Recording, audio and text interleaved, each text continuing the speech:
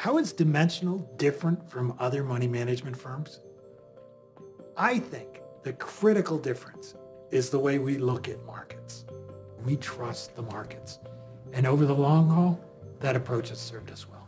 Dimensional is a firm that's dedicated to implementing the great ideas in finance.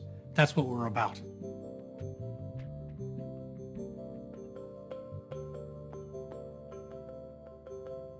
The idea was a, a, small company fund, and we went out and tested the idea, and we were able to get a few clients. Obviously, we had no track record. Our first office was my apartment in uh, Brooklyn Heights. It was a two bedroom apartment. My brother had been living with me, and he moved out and used that second bedroom as the trading room. It was run on the thinnest of margins, and uh, we didn't exactly have success written all over it.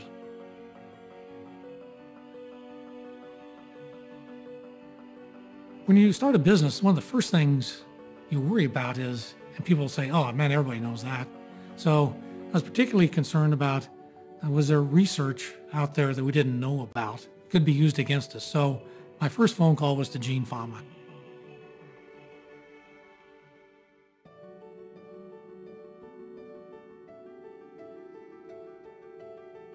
I had worked for Gene as a research assistant and teaching assistant.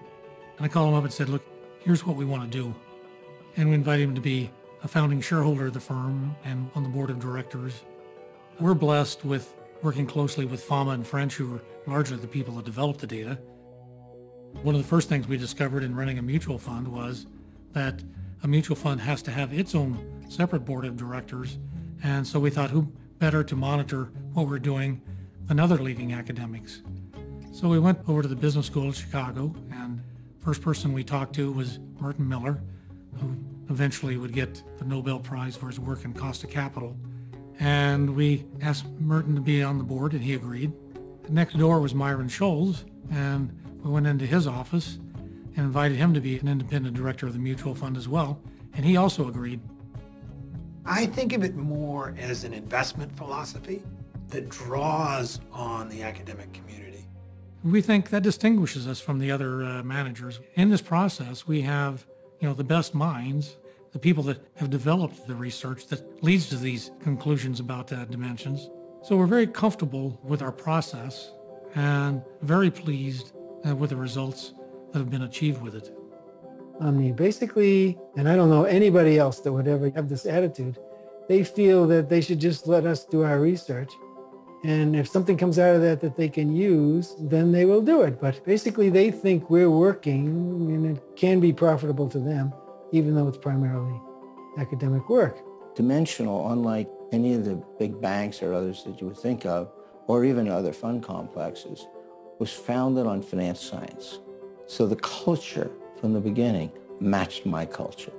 I consider myself to be an incredibly lucky guy. Have had the exposure to these great people with great ideas, be able to implement them. There are many other companies that have used our research without us getting involved. Dimensional, they are different. It's been fabulous working closely with such talented people. And I think what's great as well is that the biggest beneficiaries of all of this, hopefully, are the clients.